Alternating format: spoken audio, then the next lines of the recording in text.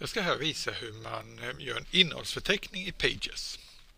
Och för att göra en innehållsförteckning på ett effektivt sätt så ska vi börja med att använda det här med styckestilar. Och styckestilar, det handlar helt enkelt om att vi bestämmer vad är det för sorts text vi har. Och styckestilar, det har vi en inställning för här. Och jag börjar helt enkelt med att då markera första texten här. Så. Ni ser det kommer upp så här små markeringar efteråt. Och sen går jag upp här och bestämmer att det här ska vara titel på mitt arbete. På samma sätt fortsätter jag ner här. Det här ska vara en rubrik 1.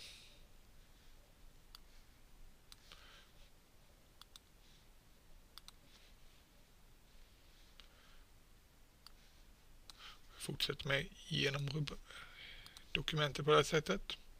Nu kommer jag här och vill ha det här som en underrubrik här. Kan vi sätta som en rubrik 2.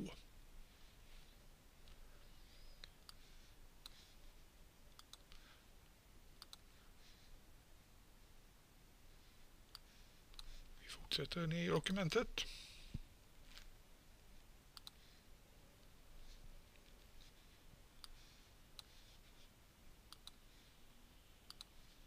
Så, nu har jag rubriksatt alltihopa.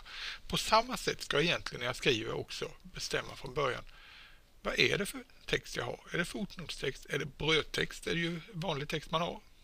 Då vet jag att det är vanlig löpande text. Så är man noga med det här från början, men det går som sagt att fixa i efterhand också. Det här gör också att jag kan, om jag använder det här systemet från början, få rätt typsnitt på saker och ting.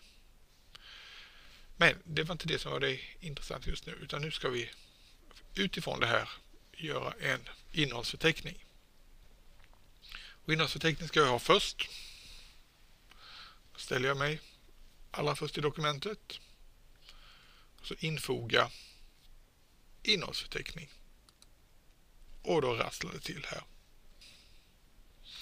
Vill jag nu ha innehållsförteckning på en annan sida. Jag ställer mig här och helt enkelt sidbryta. Så. Det här kan inte riktigt ut som jag vill ha det. Eh, jag brukar inte vilja ha till exempel rubriken här. Och vad ni ser har dykt upp här också är min granskare. Och den visar innehållet i innehållsförteckningen. Och här visar vad är det jag vill ha med i innehållsförteckningen. Då står det titel. Och titeln hade jag plockat med här. Men då bockar jag av den. Så. Och går jag tillbaka och ser att den har försvunnit. Om jag nu skulle skriva till saker och ting in i den här texten så kommer innehållsförteckningen anpassa. Ni ser här även att de här två underrubrikerna blir lätt indragna. Och det här är ett enkelt sätt som sagt att fixa detta. Vill jag sen ha själva stilen på detta så kan jag givetvis ändra det precis hur jag vill. Det förändrar ingenting här. Och hela sidnumreringen som jag har gjort innan. Det kan ni titta på den filmen jag har gjort om det. Förändras givetvis när jag lägger till sidor. Ja, på det sättet har jag fixat en mycket enkel innehållsförteckning.